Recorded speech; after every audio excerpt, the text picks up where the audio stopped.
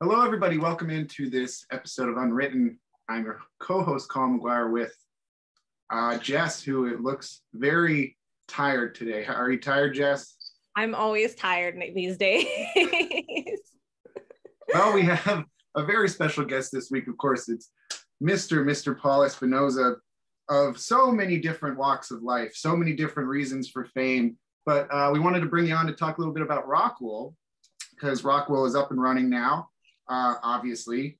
And one thing that uh, I was kind of I wanted to start with was how you got involved with Rock, Rockwool to begin with, and what brought you there. Well, Colin, Jess, I appreciate the opportunity to be with you today. And uh, really, I, I, guess it probably uh, you know traces back to uh, before I was associated with Rockwool, Of course, in my uh, public policy role, certainly was very interested in the project, and particularly when uh, concerns uh, first started to arise. Uh, I guess that was probably mid-year of 2018, and you know, the more I learned about the project, the more I, more impressed I became with the company, and uh, really became convinced that uh, their sustainability model that they were pursuing, you know, would enable them to operate here in Jefferson County in full compliance with all requirements. And you know, I really, uh, I, I, guess it's fair to say that all of my adult life, I've been an advocate for uh, economic development, trying to expand employment opportunities in Jefferson County. And so when I learned that Rockwool was looking for a community liaison,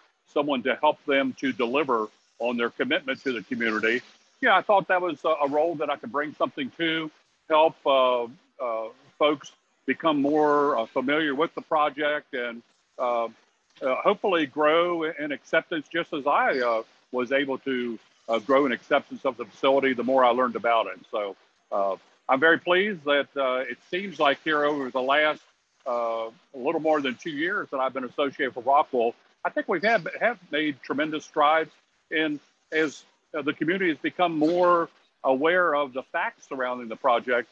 I am very pleased that you know we're seeing the type of acceptance, acceptance that you know Rockwool had hoped to receive all along. Yeah, it was it was kind of tough for a little bit, wasn't it? There there were there were some outspoken people, um, I think, and groups of people who kind of opposed this. Do you see that lessening now as time goes on? That, uh, like you said, is it a little more supportive, or do you still have those people on the opposite side that that come at you a lot? Well, we're very pleased with the level of acceptance we're seeing. I think probably the uh, best indicator of the level of acceptance is the response to our hiring campaign. Uh, we've hired, I believe, 113 individuals uh, to date. Uh, we'll be ramping up to 150 as we uh, move towards full production here uh, within the next several months. And so I think that's a pretty good indicator that there is good acceptance of, of the factory. Now, to be fair, you know, certainly there are individuals that remain concerned or opposed to the facility. Uh, frankly, I think there are probably some folks that will never fully accept the facility. But uh, I think by and large, I think the community, as they've learned the facts of the facility, uh, I think they have grown in acceptance. And we really can be more pleased with the response we are getting uh, from the community and from uh, those individuals uh, seeking to join our team. I and I, I wanted to. we should back up just a tiny bit, and then Jess, you can hop in if you if you'd like. But for those who don't know, what does Rockwool make? What what kind of clamp is it? What goes on there? Well, Rockwool uh, is uh, the leading manufacturer of stone wool insulation uh, in the world. Uh, essentially, we make building insulation, both residential and commercial uh, stone wool insulation. The products that we make uh, are probably most popular because of some of the key uh, qualities that other insulation, frankly, uh, in most cases, does not have. Uh, first and foremost, non-combustibility. So, as uh, building codes increasingly specify the use of non-combustible building materials, our stone wool insulation product, which is made from natural stone, is ideally suited to uh, meet those requirements. One of the other key attributes of the uh, stone wool insulation that we make is the acoustic performance, uh, ideally uh, suited for those applications where you're trying to uh, provide a sound barrier uh, educational settings, uh, hospitals, uh, even in the, a residential setting where you're renovating your home and wanting to make sure that activities in one part of your house, perhaps your man cave, doesn't interfere with other aspects of your house. Uh, our stone wool insulation provides great acoustic performance. Uh, and so that, again, has resulted in tremendous uh, growth and demand here in the United States, particularly in the eastern United States. And because we're located in fairly close proximity to the mid Atlantic United States and the Northeast United States, uh, we're ideally situated to be able to meet that growing demand for our high quality stone wool insulation products. Kind of going back to the the divisiveness, maybe. I don't know if that's the right way to word it. As an elected official, it did have to be at least nice for you to see the public taking an interest in this and and you making use of the forum. I'm thinking specifically to that Ranson meeting a little over a year ago where we had almost 100 people just commenting and expressing their thoughts and doing the research well uh, again uh, rockwool uh, certainly has been committed to providing uh, information to the public so that they can be better informed about the facility and you know uh, we've been happy to host not only supporters of the project out here to the facility but uh, in some cases opponents so that they could uh, very clearly see the lengths that Rockwool is going to to make sure that we're fully compliant with all local, state, and federal laws. And I think uh, one of the uh, things that has led to greater ex- uh, acceptance of our facility is that as we've had some of those groups come through, be able to see themselves uh, the lengths to which we're going to not only comply with, with what are very strict uh, regulations uh, pertaining to our type of manufacturing process, they see that we've well exceeded those type of, of requirements. For example, we've voluntarily installed air monitoring stations at the two nearby elementary schools. That's not something that's typically required by the West Virginia Department of Environmental Protection or the EPA, but uh, as a further assurance to the community, we thought it was valuable to install those air monitors so that the public could see well in advance of the start of operations what the air quality was here in Jefferson County, and then be able to judge for themselves the impact uh, going forward. And that's uh, uh something that the community can look at uh, on a daily or hourly basis uh, through our Rockwool Ranson Community Facebook page. There's a link there where, again, folks can go and see that information. We've installed groundwater monitoring wells, which again is not required by uh, the uh, West Virginia DEP or the EPA.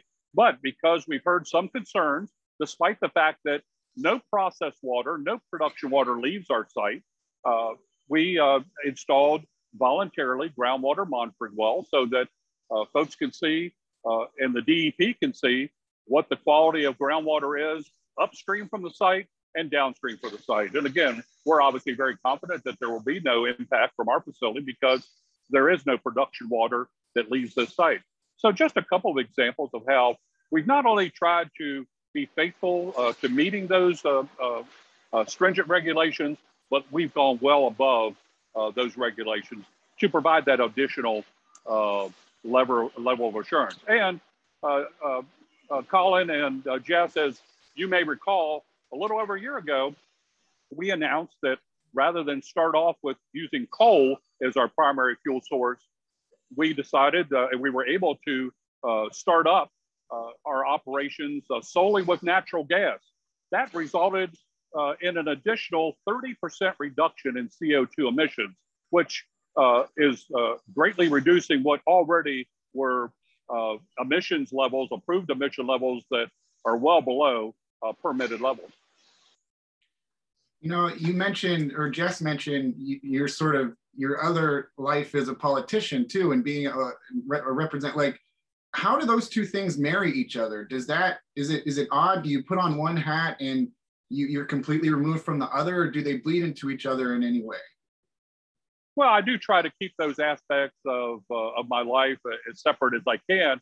Although, uh, as I indicated uh, earlier, you know, I, I make no um, you know, apology for the fact that I've been a longtime advocate for economic development, job creation. I think one of the things that really uh, spurred my interest in public service was to try to uh, attract uh, uh, high quality job creators to West Virginia and particularly Jefferson County and Eastern Panhandle so that our young folks don't have to feel uh, the need to leave West Virginia in order to pursue opportunities. And so when I first learned of Rockwool's plans to locate here in Jefferson County back mid year of 2017, well before I became associated with Rockwool, you know, I couldn't have been more excited. Uh, I heard very, very positive uh, things from folks that were familiar with Rockwool.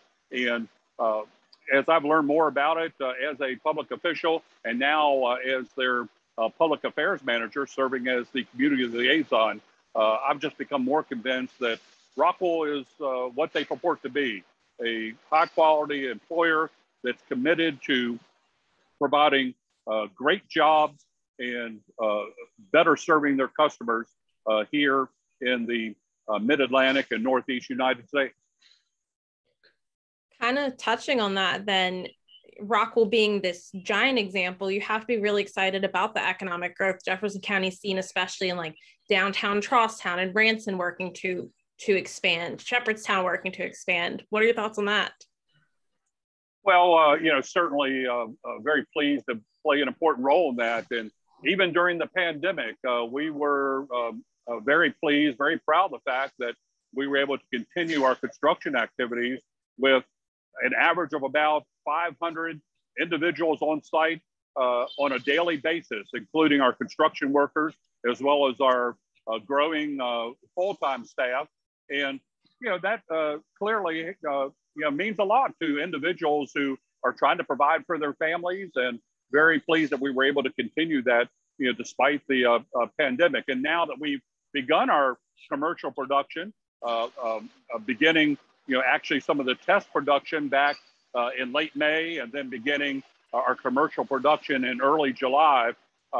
really excited about the opportunities that's providing for our employees. I've I've had an opportunity to interact with some of my new colleagues here, and they couldn't be more excited and just really pleased to be part of a employer that uh, is committed to doing things the right way and uh, making the necessary investments, you know, literally hundreds of millions of dollars of investments to create what arguably is the most technologically advanced stone wool manufacturing facility in the world. And that's right here in Jefferson County, West Virginia. So it's really a great story. And again, I think as uh, you know, we continue to demonstrate uh, our ability to operate in a manner that uh, is respectful of the community. Uh, certainly, uh, much of the infrastructure that was deployed in order to su- initially support our operations, uh, like water, sewer, natural gas, uh, the power upgrades by First Energy, as well as telecommunications upgrades throughout this whole corridor, obviously those are uh, amenities, uh, those are services that are also available for both residential and other commercial customers that may uh, uh ultimately choose to locate here in Jefferson County. So really pleased to be part of that economic development, which is going to provide uh, well-paying jobs with great benefits right here in Jefferson County uh, so that those folks that are looking for something a little closer to home can do so and uh, perhaps even uh, be able to uh, participate more more fully in the community rather engage in that uh, uh, uh, long commute down into Northern Virginia and the metropolitan area. You brought up commercial production and how you were able to start that beginning of July did everything turn out on schedule for you guys or were, were things backed up because of say the pandemic and, and with the covid-19 pandemic too it's kind of a two-part question. How did you guys navigate your way through that? Well not unlike uh, i think virtually any other uh, operation uh, any other business uh, certainly encountered some challenges uh, particularly with uh, travel restrictions related to some of our european colleagues who necessarily traveled or needed to travel here to the United States to help oversee the testing and, and commissioning of uh, the equipment, much of the equipment that you see behind me.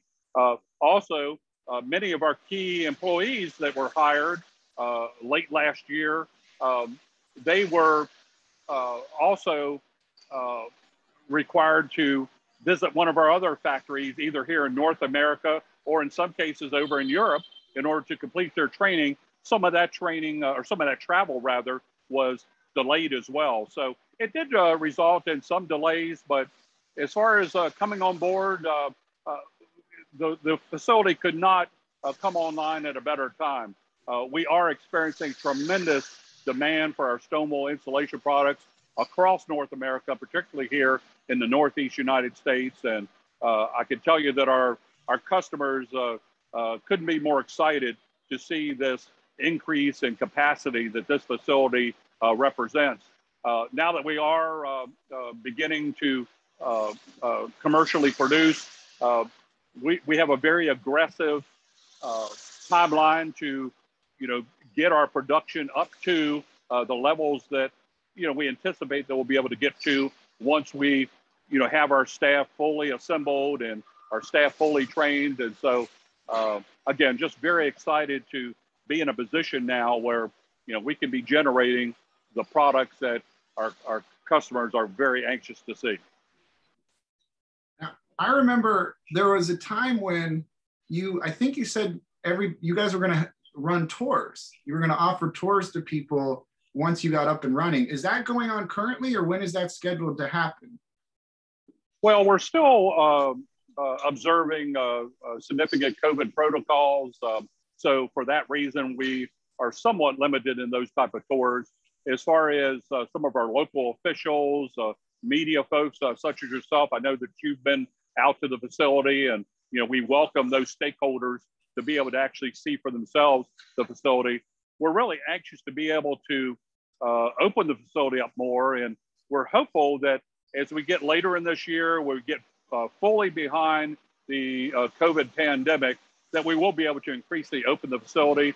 One of the features, one of the aspects of uh, our Ranson facility uh, is uh, a brand experience center, which is our first brand experience center here in the Northeast United States, or I'm sorry, here in North America. And that brand experience center, uh, local community, as well as our customers to be able to view uh, a very hands-on interactive display, a series of displays of, our uh, stone manufacturing process, and then uh, be able to actually tour the facility. So uh, really anxious to be able to show off our facility once, again, we have the COVID pandemic fully behind us. Jess, did you have anything? I, I have uh, at least one more, but I want you to go first. No, you're good. Go right ahead. um, I'm just sort of wondering, is this, you came to this job, Paul, and, and I wasn't sure if you were going to once everything was up and running, if it was just kind of a, you know, be there until everything goes and then you go somewhere else. Is this a job where you know you're going to be at? You can see yourself out for the 5, 10, 15 years? Well, Rockwool is clearly in this for the long haul. I mean, this facility, again, a several hundred million dollar investment, uh, really designed to be here you know, for uh, perhaps a hundred years or more. So Rockwool certainly made a, a uh, long-term commitment, and I'm really uh, pleased to be able to serve in my role, not just uh, to address uh, and, and help to facilitate, you know, some of the community acceptance that we've seen here over the last couple years, but now that we are operational, to again uh, just uh, continue to allow uh, or help Rockwool deliver on that commitment to the community. So I'll continue in my role interacting with uh, local uh, officials in particular, and also the community uh, to, again, just do everything that we can to deliver on the promise to be a, a, solid corporate citizen here and Uh, be a, uh, a, an employer here that uh, folks can be proud of and will want to um, join join our team. Okay, well, we can't let you go without asking a couple of fun questions. I know Jess okay. has a, a bunch of fun questions in mind. I'll start out. If if you were to recommend one place to eat in Jefferson County, where would it be? Well, that's a tough one because uh, certainly uh, our, our family, uh, most of whom are still located here in the area, we enjoy uh, frequenting a lot of our great uh, dining establishments uh, here in Jefferson County. the Final Cut, certainly a special place that my wife and I enjoy visiting, particularly on special occasions or anniversaries and, and when special guests come in from out of town. So really enjoy their facility. So I'd, I'd say that's probably right at the top of the list. Uh, the final cut there at the Hollywood Casino. I've always wanted to try that. I've never tried it. Jess, have you tried it? I have not, but I've been to Nine Dragons and I love Nine Dragons. yeah, we're big fans of Nine Dragons too. So uh, uh, we we we we probably uh, visit Nine Dragons a little bit more, but do enjoy the final cut for special occasions. Well, you can't not love Chef Ken, so Nine Dragons is the place to be. yeah. Yep, I've never I've never uh, had anything on the menu that wasn't delicious. So certainly highly recommend that too. That kind of leads into what I wanted to ask. You know, the track has horse racing back up. They're bringing back live uh, entertainment. We've got the car show coming downtown. The new visitor center with so many opportunities. What are you excited to do in the county now that the pandemic's slightly gone away? Well, I, have certainly enjoyed getting out, and uh, I know a few of the uh, early events, uh, like the Chamber of Commerce, recently had their monthly uh, meeting, and a few outdoor events that I've attended. Uh, again, the Chamber of Commerce had their uh, annual, um, I think it was Blue Denim and Diamonds event, a nice outdoor event over at um, the um, Lewis's farm over in in Shepherdstown. So I think anything outside where you know, we can just get together and be able to get back to a sense of normalcy. So uh, certainly, uh, Rockwool's been a big supporter of a lot of events you mentioned. Uh, I know the Ranson Festival and Car Show that's coming up uh, later this year. Uh, we look forward to once again sponsoring that event, uh, most likely uh, helping sponsor the entertainment. So certainly look forward to attending as many of those community events as, as we can. And of course, the Jefferson County Fair. really excited to once again have the Jefferson County Fair uh, scheduled to uh, take place this year. So uh, again, look forward to getting out there, eating some funnel cake, and uh, seeing the animals, and just you know visiting with folks in the community. We are uh, in the middle of the Olympics currently. Uh, is there a favorite Olympic sport that you enjoy watching? Well, last night we were sitting uh, uh, there by our TV sets, uh, anxiously, anxiously, watching the uh, women's softball team uh, compete against the uh, Tokyo Japan team, and it that was that's probably the sport that really I'm watching the the most. so I, would say that's the one that really is appointment tele- television for us in our household. Our daughter was, of course, a a multi-year uh, participant there with Washington High School's uh, softball team. Has played a lot of uh, travel softball. I've officiated uh, and still officiate uh, high school girls softball, so we enjoy watching that. Did get a chance to watch a little bit of the indoor men's uh, volleyball competition, and I was just blown away by the pace of that play. And I mean, those play, those players can elevate. It's really fun to see that level of competition with the men's volleyball. Okay, Paul, tell me what's your favorite TV show right now? What should we be checking out? well, uh, you know, I uh, I don't watch as much uh, television as I typically have. Uh, we were watching, uh, but unfortunately, we binged all the way through it. The uh, what is it called? Pinky. it's on um, Netflix. the, the, oh, the British show. Peaky Blinders. Yes. Peaky Blinders. Yes. Peaky Blinders, uh, our son encouraged us to watch, uh, you know, the first couple episodes, and it did not take long for us to uh, really get hooked on it. And within the course of about two or three weeks, we've gone through five seasons of Peaky Blinders. So really can't wait for uh, the next uh, season uh, to come along. I'm not sure when it's scheduled out, but that'll definitely be appointment television for us in our household. I've got one more. Jess, do you have any? Uh no, you're good. Go ahead. That's it. Okay. You you can only have dinner with three people. Who are they going to be? Oh wow, that's a difficult one. Uh, geez.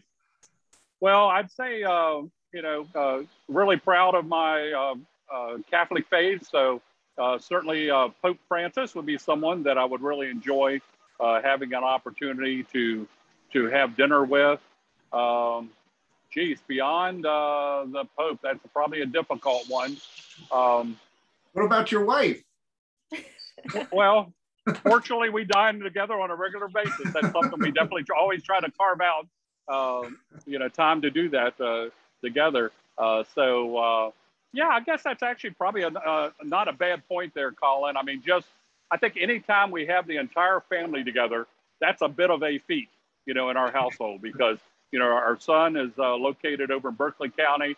Our oldest daughter uh, teaches in uh, Loudoun County, and uh, our daughter is a senior at Shepherd University. So anytime we can have the whole family around the table, that's certainly uh, a great a great time. So certainly that would definitely uh, be at the top of my list as well.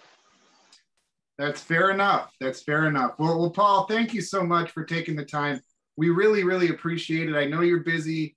Uh, there's a lot going on at Rockwool. Wanted to update everybody on it. If anybody wants to find more information, where can they find that online? Well, uh, the best place to go is to our uh, local microsite, which is rockwool.com slash West Virginia. Also, our Facebook page, our Rockwool Community Facebook page. Uh, we try to uh, regularly post uh, information on there, little updates. So would encourage folks to visit Uh, those two locations. Uh, certainly, I'd be remiss, uh, Colin, Jess, if I didn't urge folks that might be considering a career here at Rockwool to reach out. If they go to rockwooljobs.com, they'll see a listing of all of our local jobs. They can search by location. Here at our Ranson facility, uh, we have uh, several roles in particular that we're hiring for a general operator, warehouse person, machine technician, uh, Uh, electrical and instrumentation uh, technicians uh, are just a few of those roles. And uh, great jobs, uh, uh, starting rate at 1750 an hour plus excellent benefits. So if folks are, you know, maybe, you know, interested in learning more about Rockwool, certainly encourage them to, again, visit rockwooljobs.com. They can see the openings and, and apply online. That sounds good. Everybody, if you need a job, Paul's giving them away. Paul will give you a job. Just call him. Give him a give him a phone call or a text message. But uh, thank you again for coming on. We really appreciate it. I'm sure we will talk soon, one way or another. And thanks so much, Paul. Thanks, thanks Paul. Colin, Jess. Appreciate the opportunity and uh, hope to see you out here at the site uh, soon.